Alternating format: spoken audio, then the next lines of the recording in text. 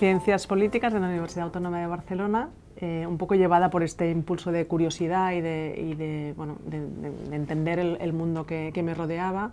Y cuando acabé la carrera me fui a vivir a, París para, para, hacer el doctorado y en París eh, encontré trabajo en la UNESCO eh, que es la Organización de Naciones Unidas para el Mundo de la Cultura y la Educación, y eso me abrió como un mundo muy, amplio ¿no? de, relaciones internacionales, de vínculos con, con gente de diferentes continentes ¿no? y, sobre todo esta perspectiva un poco global, ¿no? entender que, ya a mediados de los años 90 había una, una, una serie de problemas o de cuestiones que, que, eran compartidos por el conjunto de la humanidad y que verlo así en conjunto fue bastante un privilegio. ¿no? Y fue ese mi primer contacto con el mundo formal, digamos, de la, de la, de la cultura y, y, nada, y entonces ya fue bueno, bastante, bastante automático, ¿no? Regresé a Barcelona, tuve un par o tres de trabajos previos y, y ya en el 2002 empecé a trabajar en el CCB y desde entonces... Sí, bueno, yo creo que, que es la, gran singularidad del, del CCCB, ¿no? el de ser un, un ágora, ¿no? un espacio de encuentro entre, entre gente de diferentes disciplinas que, que se encuentran para, para crear, para debatir, para, para, investigar, para exposiciones, debates, conferencias, eh, festivales de todo tipo, festivales de literatura, festivales de cine, de, de vídeo independiente. ¿no? Entonces la función un poco del CCB es esta, ¿no? la, de, la de mezclar públicos, mezclar eh, creadores emergentes con, con, voces más consolidadas, eh, mezclar, o sea, hacer un poco de puente entre, Barcelona y el mundo, ¿no? en, las dos, en las dos direcciones, eh, y mezclar, bueno, esto, ¿no? públicos, personas de, de, diferentes disciplinas en un, en un mismo lugar. Y yo creo que lo que nos hace singulares es, el, es el justamente no tener colección. ¿no? Nosotros nos, nos distinguimos de un museo de, de arte contemporáneo justamente por, por, el hecho de no tener colección propia ¿no? y por lo tanto tratar de, intervenir sobre los grandes temas de la, de la cultura contemporánea desde, de, desde, una forma más libre, ¿no? sin tener la, la digamos, la, la necesidad de recurrir a una colección propia y poder, pudiendo utilizar todos los, los, lenguajes disponibles, ya sea la fotografía, el cine, el vídeo, el arte cuando sea necesario, la ciencia. Mm, todos los lenguajes. Yo creo que, es, que en este sentido el CCB ya en su fundación fue un, una institución precursora, ¿no? una, institución que, que percibió que el, conocimiento es, no se puede dividir, ¿no? que hay una, un único, una única realidad y que lo que es interesante es, es aproximarse a esa realidad desde, desde diferentes miradas y, y, puntos de vista. El CDB nació en el año 94, eh, justo después de los Juegos Olímpicos de Barcelona, un poco en el marco de la, de la regeneración urbana que, que se, se, realizó en el, en el barrio del Raval a partir de, de, de, instituciones culturales, pero formaba parte un poco de, de esta energía eh, olímpica, digamos, ¿no? Y, sí, un poco de la, de la bueno, de la energía que, se creó, de, esta ciudad que estaba también todavía por construir ¿no? después de los Juegos. En realidad, si lo miramos con un poco de perspectiva, eh, no estábamos tan lejos ¿no? del final de la dictadura, ¿no? por lo tanto estaba empezando ¿no? a crearse una, una, una, ciudad democrática. Las primeras elecciones democráticas son el 79, ¿no? entonces los Juegos Olímpicos se ganan en el 86 y a mediados de los 80 se empieza a pensar en la, en la figura del CCB. ¿no? Y era un momento en el que la ciudad no tenía los grandes equipamientos culturales que tiene ahora, ¿no? entonces estaba empezando a implantar toda esta, esta red de, de, equipamientos, el MACBA, el CCB, el Auditori, ¿no? una serie de equipamientos bueno, de, de, de capital, digamos, ¿no? que, que, que, que entonces todavía no tenía. Yo creo que el CCB, tal como está concebido, sería difícilmente eh, exportable a otra ciudad. Y en este sentido yo creo que, es importante eh, que, esté muy enraizado y que trabaje muy extensamente con toda la red de creadores, de, escritores, de, editores, de, la, gente que, crea cultura en esta ciudad. Y desde el primer momento el CCB quiso ser un espacio de representación de la cultura local y al mismo tiempo ser un, un motor, ¿no? un espejo y un motor, un espejo y una, y una atalaya o un faro ¿no? de, de, del mundo ¿no? y, y, también del, del, futuro, ¿no? de, alguna, forma una, un cierto trabajo de prospectiva, ¿no? de, de, poder imaginar cuáles van a ser los grandes retos eh, de las sociedades contemporáneas a nivel, a nivel mundial.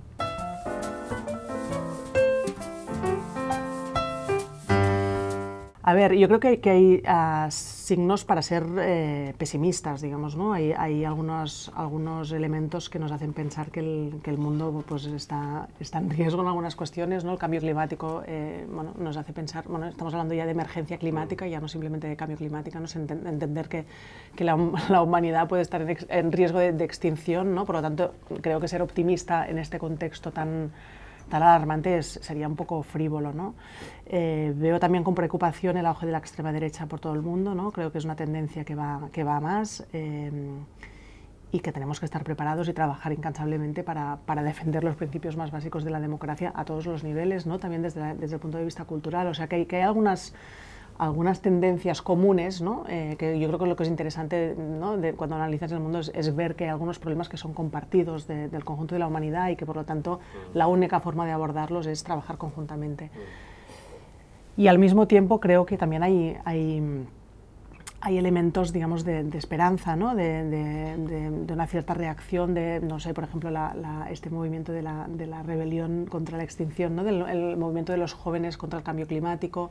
¿no? Hay, hay una cierta, digamos, eh, trabajo de, bueno, una, una red muy creativa, ¿no? también tanto de gente joven como de gente más menos joven que, que, están trabajando para luchar y para defender los principios más básicos de, la humanidad y una, y una humanidad vista desde una perspectiva un poco más, más, más general, que, no, ¿no? Que, que, tenga en cuenta pues, las, otras especies, eh, las otras especies que hay en el planeta, ¿no? o sea, que es, que es una humanidad, es, es un humanismo mm, repensado ¿no? y actualizado en base a las, a las nuevas realidades. Es, es, una mezcla de públicos, ¿no? son comunidades muy diferentes que se mezclan en el CCB y para mí esta es una de las funciones principales del CCB, ¿no? el, el, el, hacer que gente que quizás no se ve o no se pueda reconocer o se pueda mirar los, a los ojos, ¿no? que, que se pueda ver físicamente en el CCB y creo que es una función importante, ¿no? como lo de las, la ciudad. ¿no? La ciudad finalmente es un espacio en el que te encuentras con gente que no conoces, ¿no? Y, y, yo creo que estos espacios físicos son más necesarios que nunca, ¿no? En un momento que todo parece estar digitalizado, todos estamos escondidos detrás de las pantallas, ¿no? Tener espacios físicos en los que la gente se pueda mezclar me parece interesante, ¿no? Eh, y yo creo que el, que el, que el público ha, ha, evolucionado porque ha cambiado radicalmente la manera de, de, de, relacionarlos con la cultura, ¿no? En el momento en que, bueno, a raíz de un poco de la transformación tecnológica, ¿no? Pero, pero todos ¿no? tenemos la, la, percepción de que tenemos toda la información disponible en Internet ¿no? y, y, esto ha, ha, hecho que la gente se relacione de una forma muy diferente con la cultura. ¿no? Y, y los museos y los centros culturales estamos realmente en un momento de, de repensar cuál es nuestra función en este, en este contexto, ¿no? Cuando tú tienes, nosotros tenemos 18.000 metros cuadrados, ¿no? Te preguntas, ¿no? ¿Cuál es, ¿Cuál es el sentido de tener un edificio tan grande, ¿no? En un momento en, que el, en el que parece que todo se pueda resolver eh, de manera di digital o virtual. ¿no? Y, y, entonces ha cambiado mucho la, la, la, actitud del público. Yo creo que la actitud de los programadores también hemos tenido que adaptarnos a este nuevo contexto, con lo cual las programaciones son más abiertas, ¿no? más, más participadas por parte del, del público. Y, y, yo soy en este sentido muy optimista porque hay una nueva generación eh, de gente muy joven que se está movilizando que antes no se movilizaba. ¿no? Ha habido una cierta esto, ¿no? Eh, movilización de, de, una, de, una gente, de gente muy joven que viene a participar, a debatir conjuntamente, que dejan las pantallas, que, que están, pueden estar dos horas o tres horas discutiendo de temas súper complejos y, y, hemos visto una, una, un, un, cierto rejuvenecimiento de, la, de nuestro público en los últimos cinco años.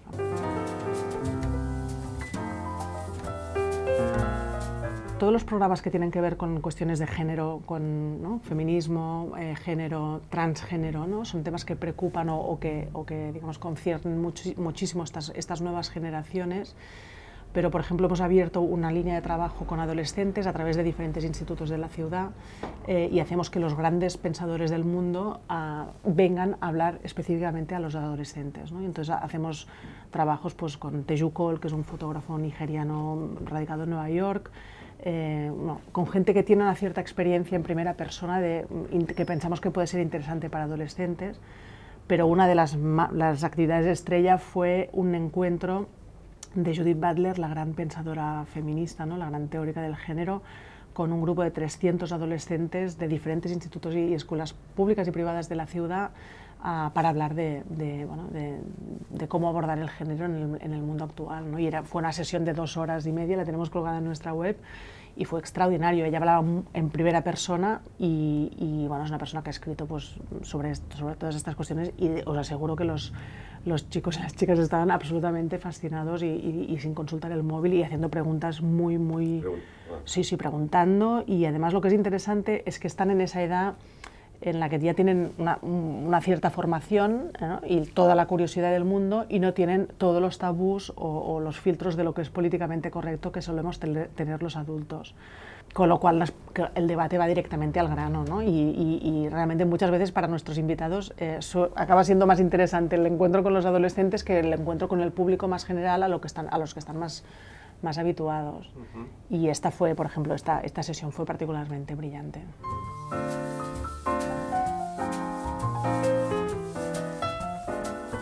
Ahora mismo ya está plenamente aceptado que, no puede haber humanidades sin reflexionar sobre la ciencia. ¿no? Cuando hablamos de ciencia hablamos, por ejemplo, de la, de la revolución tecnológica y cómo nos ha cambiado y transformado la forma como nos relacionamos con nosotros mismos, con los otros y cómo, no, cómo vivimos en sociedad pero también estamos hablando de los progresos biomédicos, por ejemplo, ¿no? de, la, capacidad de alargar la, esperanza de vida. ¿no? Se está empezando a hablar de inmortalidad, se está hablando de la robotización de la sociedad, se está hablando de inteligencia artificial. Hay una serie de, progresos científicos que tienen unas consecuencias políticas, eh, sociales y morales enormes. ¿no? Entonces, yo creo que los centros culturales tienen que abordar estas cuestiones porque son cuestiones además que preocupan muchísimo a la, a la sociedad. Realmente hay una inquietud sobre, sobre el futuro, ¿no? hay una, una, incertidumbre ligada a cómo vamos a vivir, cómo, a qué, de qué van a trabajar nuestros hijos, ¿no? cómo, hasta cuándo vamos a vivir, cómo se va a organizar la sociedad a partir de eso que son, bueno, que son plenamente aceptados, que desde las humanidades hay que, hay que abordarlo. No, no, no son problemas o, o, cuestiones que se puedan dejar en manos exclusivamente de los científicos y en los laboratorios. ¿no? Yo creo que la contribución de, de un centro cultural que, que, proviene de las humanidades es, es esto, ¿no? Eh, promover un debate público de calidad sobre los grandes retos que tenemos planteados y la ciencia es uno de los retos de, de primerísimo nivel. Si miramos incluso la, inmigración que hay en el barrio del Raval, el 25% de los inmigrantes son pakistaníes y la segunda comunidad es de Bangladesh y la tercera es Filipinas. O sea que, em, que realmente ha cambiado muchísimo la geopolítica ¿no? de, nuestra propia ciudad. Yo creo que lo que es interesante es, es, aprender ¿no? Quién, quiénes son los nuevos barceloneses e intentar eh, reflejarlo. ¿no? Eh. Y es, y es, interesante porque además se están empezando a movilizar. Cuando se hablaba de gente joven, por ejemplo, nosotros hemos, hemos visto en los últimos tiempos una presencia de, de afrocatalanes, ¿no? de, gente que, que tiene una, una, ascendencia africana o afro-latinoamericana o afroamericana, eh, que son nacidos aquí, que son gente que hablan perfectamente catalán, que, están, que han sido escolarizados aquí, que tienen... Y están empezando a reivindicar eh, su presencia en la, en la, vida cultural de la ciudad, yo creo que es importantísimo. ¿no? O sea, nosotros en el barrio del Raval, por ejemplo, ya hay una tercera generación de, de filipinos. ¿no? O sea, entonces no, estamos hablando de la primera generación, estamos hablando ya de segundas y terceras generaciones y yo creo que después del feminismo es el gran debate que tenemos pendiente, ¿no? de, que es una cosa que en Londres o en París hace, o en Estados Unidos hace muchísimos años que están ya, ya trabajando y es como como tener una, una, vida pública ¿no? que refleje realmente la, la, pluralidad de sus habitantes y en este sentido es una, vida, una ciudad mucho más rica y mucho más, mucho más interesante en realidad, ¿no? porque aquí estamos todavía peleándonos entre el catalán y el castellano y en realidad bueno, tienes, tienes una, una realidad que es mucho más, mucho más rica.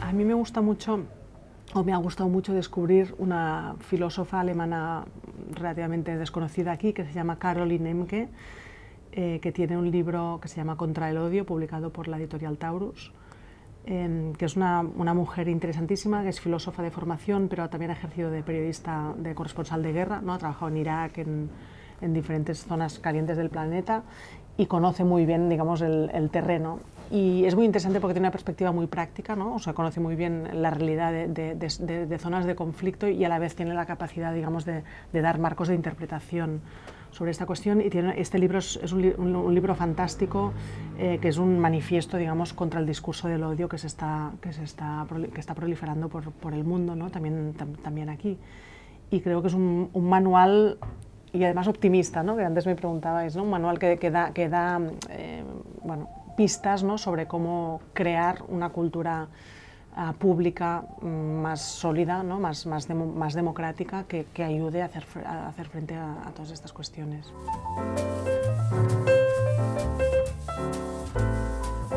esta, esta, necesidad de estar muy bien informado, de estar muy bien conectado, ¿no? por lo tanto todas las obras de teatro que veo, todo el cine que veo, todos los libros que leo, siempre tienen, digamos, son, son inspiradores para mí o son vínculos importantes para mi trabajo, pero obviamente me gustan muchísimas cosas más aparte de mi trabajo. Tengo un niño de dos años y medio, que es eh, un trabajo también muy importante para mí y, muy exigente en estos momentos, o sea que, que, es lo que me dedico fundamentalmente a él. Es difícil, pero, pero bueno, ya, ya lo sabía y, la verdad es que bueno, mm, me organizo como puedo, intento sacar horas de, de, sueño, digamos, y, y, combinármelo con mi pareja, que también la verdad es que, bueno, que también hace mucho de padre y, y bien.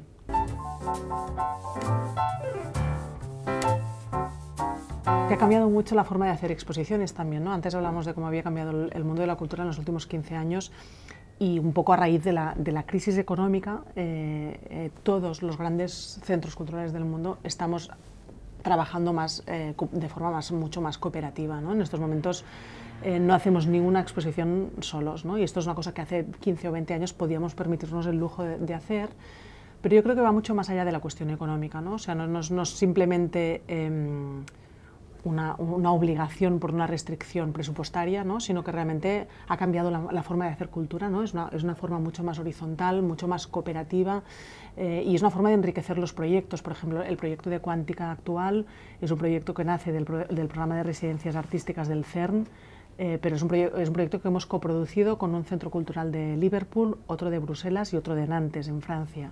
Entonces, em, son proyectos mucho más complejos de gestionar y, de, dirigir, porque bueno, son muchas interlocuciones, ¿no?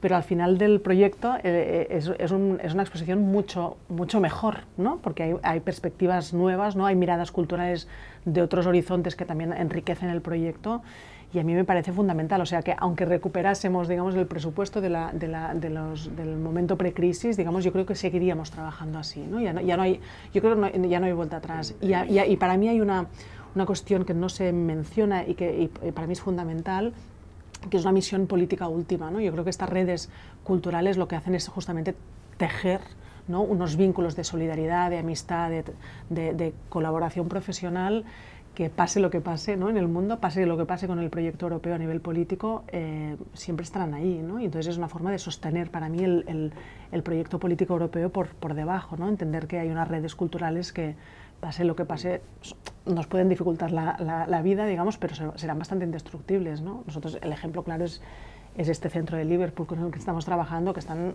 muy preocupados por, por el Brexit ¿no? y los efectos que va a tener sobre ellos y, y, y lo, difícil que va a ser poder cooperar ¿no? de la forma que lo estábamos haciendo. Pero en cambio el vínculo está hecho, ¿no? el vínculo personal, profesional está hecho y las ganas de seguir trabajando juntos permanecen. Y para mí esto tiene una, una, una función política muy importante ¿no? y que, que creo que los museos y los centros culturales tenemos que ejercer.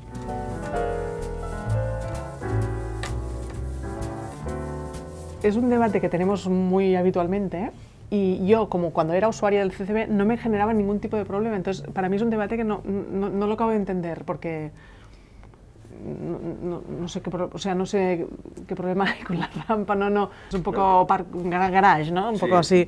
bueno, a ver, nosotros podemos eh, mejorar, obviamente, o sea, nuestras formalizaciones de los espacios, mejorar. Lo que pasa es que hay una, una rotación tan grande de, de, actividades, ¿no? De cosas que hacemos nosotros, de, de actividades que acogemos, que es muy difícil crear espacios que sean permanentes. ¿no? Entonces, un espacio como el hall nos va muy bien porque es muy, muy versátil ¿no? y muy, muy, muy polivalente. Lo utilizamos para proyecciones de cine, para teatro, para danza para actividades educativas, para conferencias masivas, o sea que es, y, y, y lo necesitamos realmente así, ¿no? ¿Sabes qué pasa? Que estamos siempre criticando Barcelona de que no hay gente, que no bajan los públicos, que no hay colas en las exposiciones, esto, esto está constantemente, y, y no es verdad, o sea, no es verdad porque realmente hay mucha... A mí, ¿sabes lo que más me gusta del, del edificio del CCB? Es que es un espacio público, o sea, que hay, eh, digamos, es un, es un espacio abierto a la ciudad, mm. no es un espacio cerrado. ¿no? Mm. Eh, entonces, conecta la universidad con la Plaza Corominas mm. de detrás, con el Raval, después te puedes ir por, ¿no? hacia San Antonio, ¿no? Entonces creo que, que, que esta porosidad eh, es lo que realmente es importante, ¿no? Y, y fíjate que, que, que muchas veces eh, los museos que tienen dificultades son los museos que son un poco búnkers, ¿no? que son espacios que no tienen esta apertura. Luego nosotros podemos discutir si la entrada la ponemos abajo, mm. a la derecha o a la izquierda, o podemos mejorar la, la manera de relacionarnos con, el, con los diferentes espacios, pero creo que la grandísima virtud del CCB es, es, la de ser un espacio cruzable. ¿no? Y esto, es, esto parece una tontería y yo creo que, que en nuestra misión cultural y en nuestra misión política última, digamos, ¿no? que es la de, la de formar parte de un entramado de la ciudad, es importantísimo. Y luego, pues, pues sí, no sé, esta rampa ya, ya buscaremos la forma de...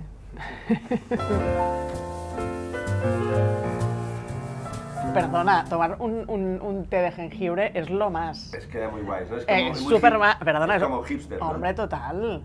No estás, no estás en la paz. No.